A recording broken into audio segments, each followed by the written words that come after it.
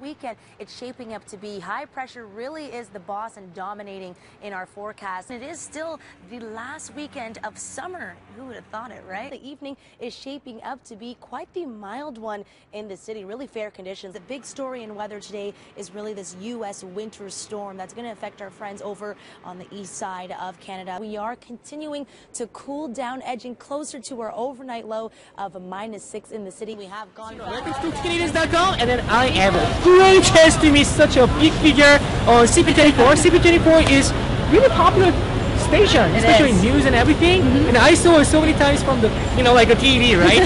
so I'm standing here at Na- uh, this is like Nathan Phillips Square. That's right. Right? Yeah. In front of like a CP24 car. Yeah, a breaking news truck.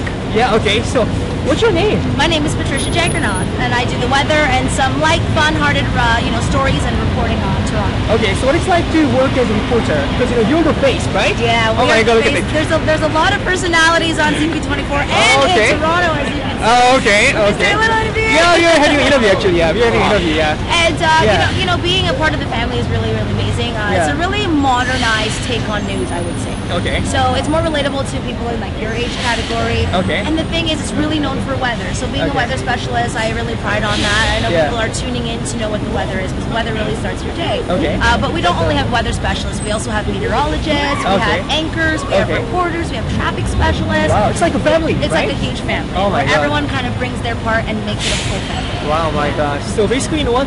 Uh, my mission is to bring more Korean people to come to Canada, Okay. enjoy, maximize their life here in Canada, right? And then anything that pops up to uh, pops up to your mind, Yeah. anything that you want to recommend to our viewers. Once you come to Toronto, do this. What is You that? know what? You gotta visit the landmarks. So we have Old City Hall, which Okay. is just beside Nathan Phillips Square. You gotta walk up and down Queen Street.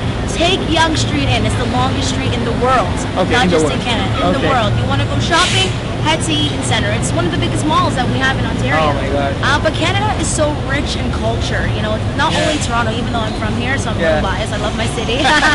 you can go to the east and, you know, whale watch in Okay. uh, Newfoundland. Yeah. You can go all the way to the west and see weather that's Vancouver, more? Vancouver, Yeah, yeah. exactly. You can go skiing in Okay. Banff in Alberta. Okay. We have everything. Oh and my God. four seasons in Toronto, so you get summer, spring, fall, winter. You see it all. Oh my god, you talk well. Thank you That's very why you're a much. reporter, right? There you That's why go. you're working for CP24. That's right. Okay, so far, I read Nice to meet you. I read. Oh, am I?